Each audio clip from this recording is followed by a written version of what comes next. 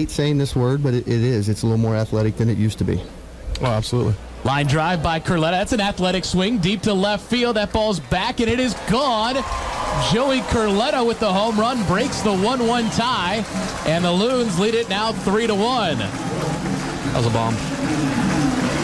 We, we appreciate those kind of home runs right there. I like that. Uh-huh. I want you guys to watch when we get the replay over here on the video board. I, I want you guys to analyze this swing a- as guys that, that know how to hit home runs and guys that can really put a charge into one. As Curletta connects on that one, and he's got kind of that slow pitch softball build. I mean, he's pretty broad shouldered at 215, uh, 250 pounds.